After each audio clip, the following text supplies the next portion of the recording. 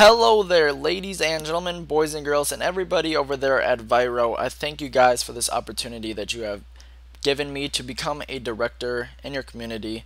You guys seem like what you're doing is great, and that's why I want to take part and hope to give you guys uh, some more viewers and hope that everybody likes my content. So with that, I hope you guys enjoy this video. And as the title suggests, I'm going to do a little bit of an introduction here in the beginning.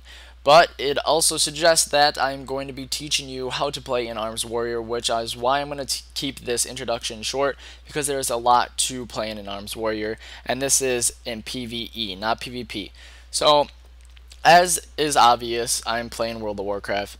If you guys like World of Warcraft, you like Swifty's videos, Mercader's videos, Elemental QT's videos, Trade Chat's videos, any of those guys, you're going to like my content because I put out videos like them, but I am different in my own sense, and I do things my way, and I will never duplicate anybody's ideas, and I'm dedicated to you guys, and that is why if you are falling under the category of any of the above, enjoying their videos or enjoying World of Warcraft, you're going to want to come and check out my channel and my videos and subscribe to me. And I can't say I appreciate it enough. So thank you guys for, for that in advance. If you do, go ahead and subscribe to me.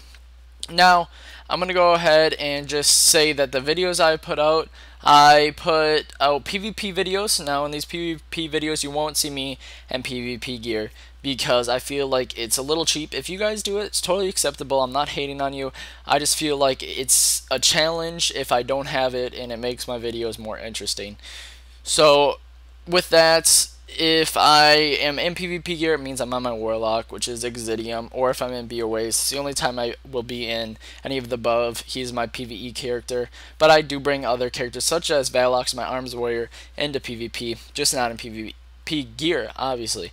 Now, here's i am doing a little bit of a risk bringing you guys PvE video because a lot of people don't really watch PvE videos, or I don't think so.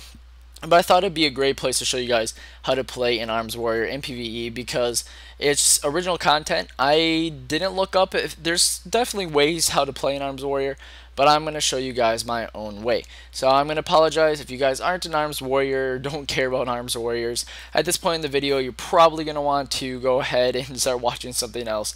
But, or if you're just interested or you like my commentaries, then keep watching. So, on my action bars, I'm, I'm talking about the second action bar here, guys, the one with all the attacks, the ones, the twos, everything like that. There's my DPS for the first boss, by the way. It's hard to see. It's 25.9, I believe. Um, or 24.9, 25k. I like to set up my action bars in a priority standpoint. So my first attack is what you're going to want to start off your rotation with and so on. Now for my first attack, it's a Rend. So that's your bleed. You're going to want to apply that right away because it is a DOT and it's just going to bring more damage to you. As a DPS, the more damage you do, the more raid leader is going to want to recruit you into his raid group and then you can get a raiding spot and go ahead and raid Dragon Soul, which is exciting. Oh, unless you don't like PvE, then it's probably not the greatest. So the second attack then is going to be Colossus Smash. It's going to allow you to go through 100% of the enemy's armor, increasing your damage again. Anything that increases your damage as DPS is great. So anytime that is up, along with Mortal Strike, which is your main attack, you want to use both of those whenever they're off a cooldown.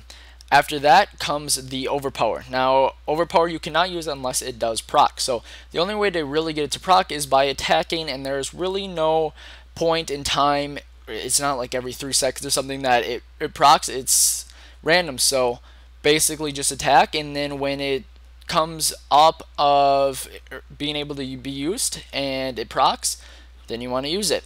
Now, when you start off your rotation, after you use your Mortal Strike, Overpower probably isn't going to be ready, so you skip it and you go to your Slam. Now, Slam is your filler. Use that about twice, unless Overpower procs after your first one.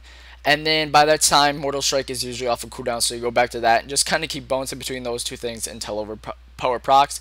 Once it procs, kind of just go through back over what I just told you. After that comes Heroic Strike.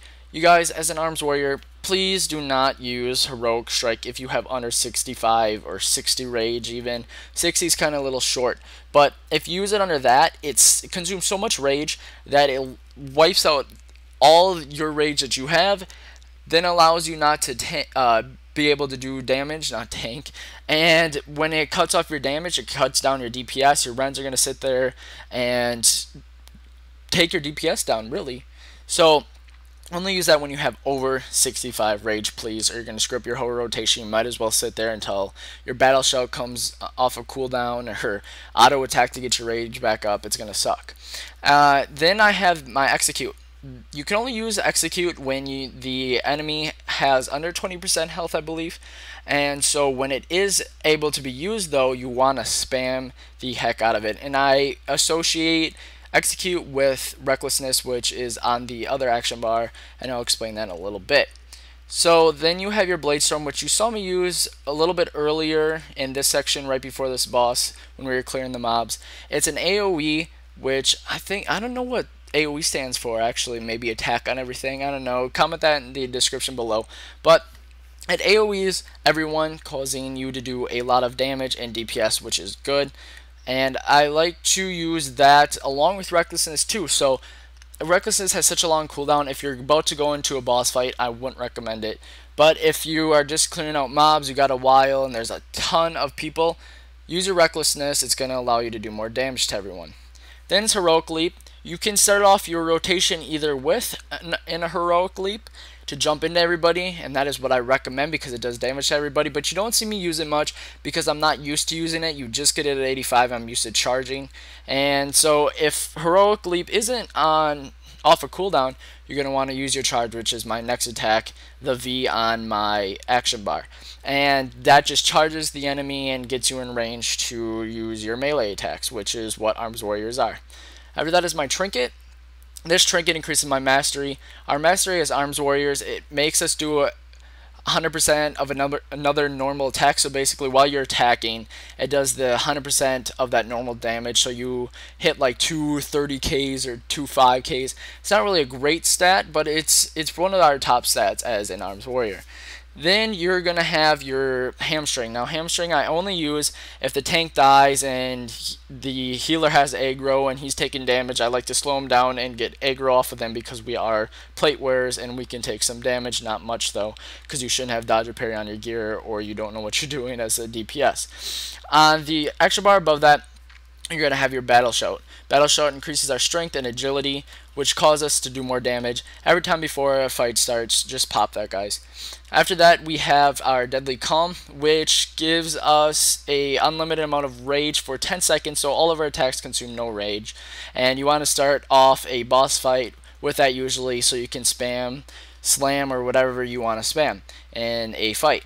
Then is the recklessness. Again, you're going to see me pop recklessness in a second, but I like to rate, wait until Colossus Smash is off of cooldown so I can use Colossus Smash, get through 100% of their armor, then pop that recklessness to give us another 50% of critically striking the target, and then spam your execute. It's going to do a lot of damage. I'm doing 80k with a 377 item level in my executes, which is really nice. After that is uh, Inner Rage, I believe.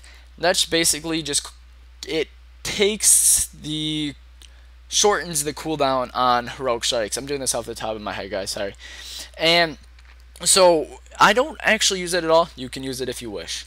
After that is Berserker Rage. The only time I pop this, it's more of a PvP thing, again, along with Hamstring. Only time I use this is if there is a crowd control, a CC, such as a Fear or a Sap. It allows you to get out of it, and you're immune to them. Um, I also use it to get my Enrage regen, which is farther down on the bar, and I'll explain that. After Berserker Rage is the Intimidating Shout. It's an AoE fear, so it's a really nice crowd control. We don't really have to use that in PvE, or I hope not. Use that if your tank dies and you are trying to get away, basically. Just fear everybody in every which way direction. After that, you got your pummel. Anytime if you have deadly boss mods and it tells you to interrupt, that's what you're going to be using. Or anytime somebody's casting a big attack, you're going to use it. You don't really need it much in PvE unless you're on interrupts and your group assigns you that job. And then you got your sweeping strikes. Anytime there's two or three enemies, you're going to want to use it because you're going to do the, if you're hitting 40Ks on one target, it's going to hit the other target for that 40K. It does damage to both targets. Really nice attack for DPS. After that, you got your Victory Rush. The only time you get that is after you kill someone. use it when it procs. It's nice. You get some health back from it. Then you have your Enrage Regen, which if you're on low on health, you're going to want to use it. Then you have your Heroic Strike, which if the enemy gets far away from you and you're charged on cooldown, whatever the case may be, throw your weapon at him. You got your Retaliation, if you pull some aggro, it consumes the next 20 melee attacks from you. And then you have your Demoralizing Shout, causes all the enemies to do less damage. If the tank dies, again, that's something you can use. And then you got your Rallying Cry, which gives everybody more health another thing to use when the tank dies. It's really up to you guys. The other things don't matter, it's just my ratio. I hope you guys enjoyed this video. I hope it helped you ARMS Warriors out, and I hope Viro decides to upload this. And again, thanks for the opportunity. Come check out my channel. It is in the text media that you can see on the screen. Thank you guys. Bye-bye.